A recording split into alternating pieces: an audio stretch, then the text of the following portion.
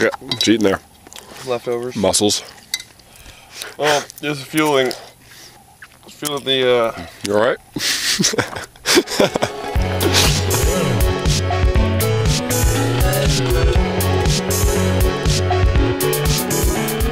This episode of Adventure Prone is sponsored by Iron and Air magazine.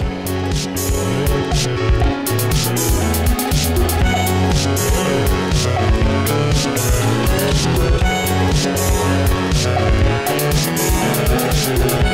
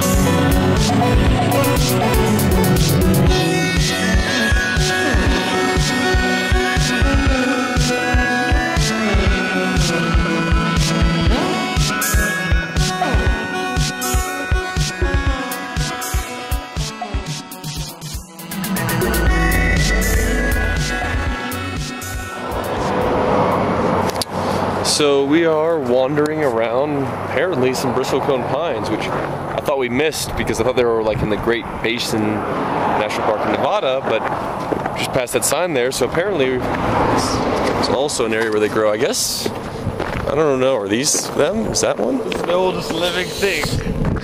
One of the oldest living in the in the world? in the world. In the world.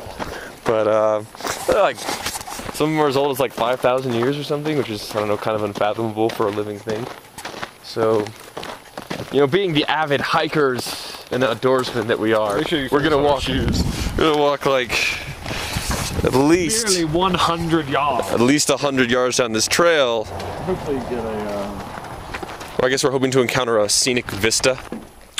As you can see, it's a giant valley. So, you know, on camera, it just sort of looks like you're looking at a postcard and, you know, probably doesn't look that meaningful, but that's pretty cool. So I'm guessing these are the bristlecone pine. This one's probably like 5,000 years. Those are like 2,000, you know, a couple. Yeah. You can tell from the bristles. In my time as a biologist, you know, we You were- ate a lot of plants. you know, we harvested the bristlecone pines for their, their wisdom in regards to Mormons, because they're the only living uh, organism that can put up with a ridiculous religion. And there goes our Mormon, Mormon. viewer base. All 12 of them. All 12 of the Mormons.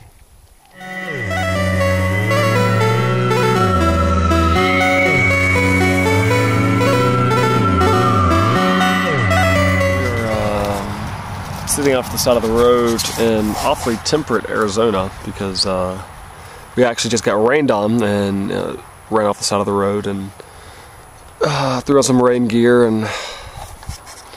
But uh, we're trying to make it to the Grand Canyon, but the storm just seems to be following us. And of all places, Arizona.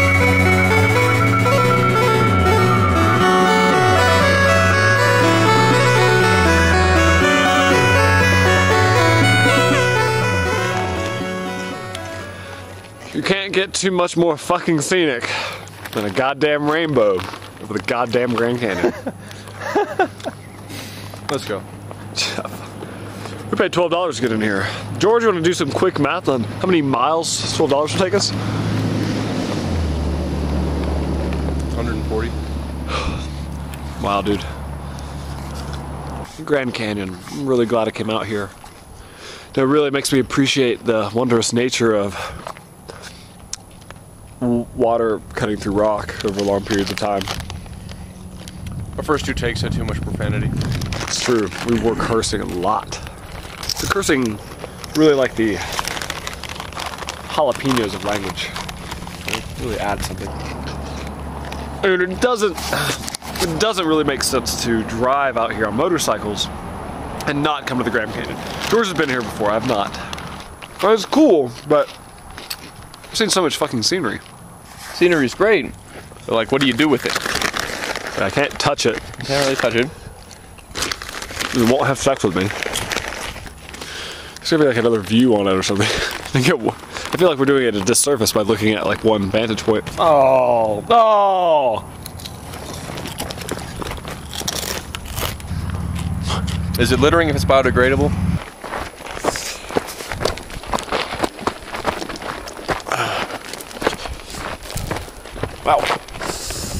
It's quite the view. I gotta crawl up there too now. Actually, cool view this way. Sort of see over some Well, I've got a handful of kettle, dude. I've got a camera and some fucking potato chips. Throw the camera. Throw the camera. Uh, uh. I'm gonna put this down for a second. Really burned all that shit on the way out.